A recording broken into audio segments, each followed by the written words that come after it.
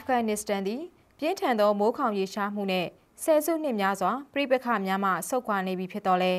တာလီဘန်များရဲ့တိမ်ပိုင်မှုကြောင့်နိုင်ငံရဲ့မျိုးနွယ်စုသည်စီးပွားရေးပြိုလဲရန်အရှိန်မြင့်လာခဲ့ပါတယ်။စီးပွားရေးနဲ့ကျန်းမာရေးစနစ်ကိုဆယ်စုနှစ်များစွာတွန်းအားပေးခဲ့တဲ့နိုင်ငံတကာအကူအညီများရဲ့နှိကွေးမှုဟာဩဂုတ်လမှာရပ်တန့်သွားခဲ့ပါတယ်။အာဖဂန်နစ္စတန်သည်အစိုးရဆုံးငတ်မှုခေါင်းပါမှုအကြက်တဲနဲ့ရင်ဆိုင်နေရတယ်လို့ကုလသမဂ္ဂရဲ့နောက်ဆုံးကိန်းဂဏန်းများအရသိရပါတယ်။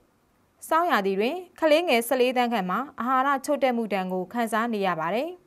။နိုင်ငံတော်ဝန်တွင်ငတ်မှုခေါင်းပါမှုကိုကုသပေးနေတဲ့စေယုံများမှာပြိုကျလူနီးပါးဖြစ်နေပြီးကျန်းမာရေးဌာနပေါင်း2300နီးပါးကိုပိတ်ထားပြီးဖြစ်ပါတယ်။ဝေးလံခေါင်တည်သောဒေသများရှိဆရာဝန်များသည်စေကူတာမှုခံယူရန်12နာရီကြာလမ်းလျှောက်ခဲ့တဲ့အပြင်းထန်နေမကောင်းသူများအတွက်ပါရာစီတမောကဲ့သို့အခြေခံဆေးဝါးများမပေးနိုင်ကြောင်းအစီရင်ခံတင်ပြထားပါတယ်။ မြို့တော်ကတ်ဘူးတွင်အဓိကကလေးစေယုံတယုံသည်နိုင်ငံရဲ့အဆိုးအဆုံးငတ်မှုခေါင်းပါမှုအခြေအနေအချို့နဲ့ရင်ဆိုင်နေရပါတယ်။ရန်မုံငွေဖြတ်တောက်ပြီးနောက်စက်တင်ဘာလတွင်တေဆုံးမှုများမြင့်တက်လာသည်ကိုတွေ့ရှိခဲ့ရပြီးအသက်10နှစ်အောက်ကလေးလေးဦးအထိအာဟာရချို့တဲ့မှုအစားအသောက်တန်ရှင်းမှုညံပြင်းခြင်းကြောင့်အစိတ်သင့်ခြင်းကဲ့သို့သောအာဟာရချို့တဲ့မှုနဲ့ဆက်ဆက်ယောဂများကြောင့်အပတ်တိုင်းတည်ဆုံနေခြင်းဖြစ်ပါတယ်။ဆေးရုံမှာအစားအသောက်နဲ့ဆေးဝါးများဆိုးရွားစွာပြက်လက်နေပြီး လူနာများကိုနှွေးထွေးစေရန်ပြီးရုန်းကန်နေရပါတယ်။အပူပေးရန်အတွက်လောင်စာမရှိတာကြောင့်အခုအခါတက်ကိုင်းကြောက်များကိုခုတ်တစ်စုဆောင်ရန်ဝန်ထမ်းများကိုခိုင်းစေပါတယ်။အဆိုပါခက်ခဲသောအခြေအနေများအောက်တွင်အတင်းကျပ်အလုတ်ခိုင်းစေခြင်းခံရတော့လဲ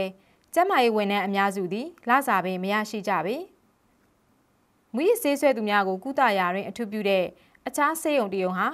ဘိန်းမြူ ဘိန်းနဲ့ခရစ်စတယ်မက်များကိုလူနာများအတွက်လုံလောက်စွာပြုစုဆောင်ရှောက်ရန်ရုန်းကန်နေရပါတယ်။တာလီဘန်များခန့်အပ်ထားသော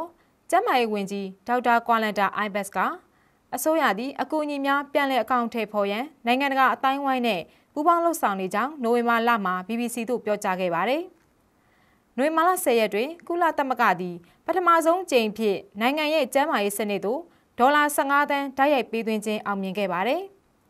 လွန်ခဲ့တဲ့လမှာကျန်းမာရေးဝန်ထမ်း23,500ခန့်ကိုပေးဆောင်ရန်ဒေါ်လာ10သန်းခန့်အသုံးပြုခဲ့ပါတယ်။လောလောဆယ်ပမာဏအနည်းငယ်သာရှိတော့လဲအခြားသောနိုင်ငံတကာအလှူရှင်များကလည်းလိုက်နာရန်မျှော်လင့်နေကြတယ်လို့ BBC ကဖော်ပြထားပါတယ်ရှင်။